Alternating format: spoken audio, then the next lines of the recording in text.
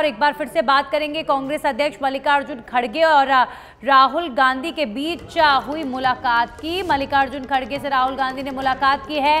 कांग्रेस सी की लिस्ट को लेकर ये मुलाकात हुई है। कांग्रेस वर्किंग कमेटी को लेकर मंथन हुआ है। कांग्रेस वर्किंग कमेटी की लिस्ट में लगभग नाम तय हो चुके हैं और सूत्रों के अनुसार आज शाम तक कांग्रेस वर्किंग कमेटी की जो लिस्ट है कौन कौन से नेता इसमें शामिल रहेंगे, ये लिस्ट जारी हो सकती है।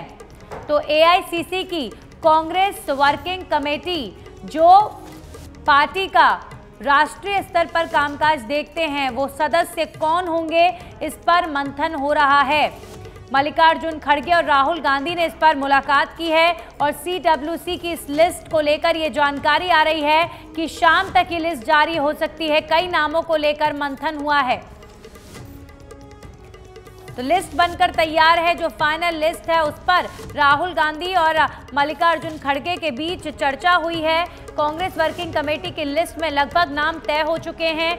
कौन कौन से सदस्य होंगे कौन कौन से वो दिग्गज होंगे, जिन्हें कांग्रेस वर्किंग कमेटी का हिस्सा बनाया जाएगा, ये आज शाम तक क्लियर हो सकता है हमारे सहयोगी। कनिका कटियार इस खबर पर ज़्यादा जानकारी के साथ जुड़ गई हैं। कनिका सीडब्ल्यूसी की लिस्ट शाम तक आ सकती है। मल्लिकार्जुन खड़गे और राहुल गांधी के बीच मुलाकात हुई है और क्या ताज़ा अपडेट? देखिए, बिल्कुल कांग्रेस कार्य समिति की बात करें तो लगातार जो है सात महीने का समय जो है गुजर चुका है। लगातार जो है इस पूरी लिस्ट को लेकर मंथन जारी है। आज सुबह जो है कांग्रेस अध्यक्ष मल्लिकार्जुन खड़गे के आवास पर राहुल गांधी और मल्लिकार्जुन खड़गे की मुलाकात हुई थी। इससे पहले भी लगातार मुलाकातें हुई हैं राहुल गांधी और कांग्रेस अध्यक्ष मल्लिकार्जुन खड़गे की। सीडब्ल्यूसी की लिस्ट को लेकर जो है लगातार मंथन जारी है। और ये भी कहा जा रहा है कि लगभग जो है नाम तय हो चुके हैं।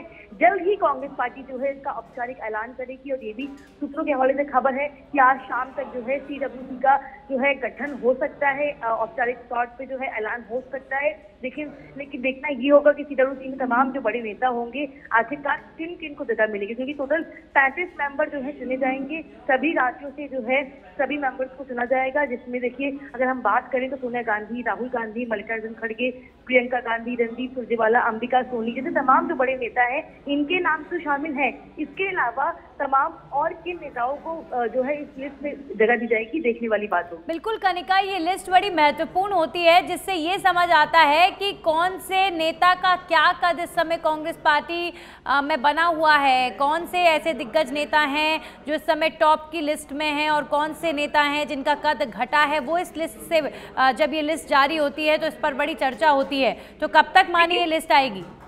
देखिए, बिल्कुल साफ़ तौर पे सीडब्ल्यूसी की बात करें तो एक पार्टी के लिए जो कार्य समिति की जो लिस्ट होती है, वो एक महत्वपूर्ण लिस्ट होती है। सीडब्ल्यूसी में जितने मेंबर्स होते हैं, वो कोर कमेटी के मेंबर्स होते हैं।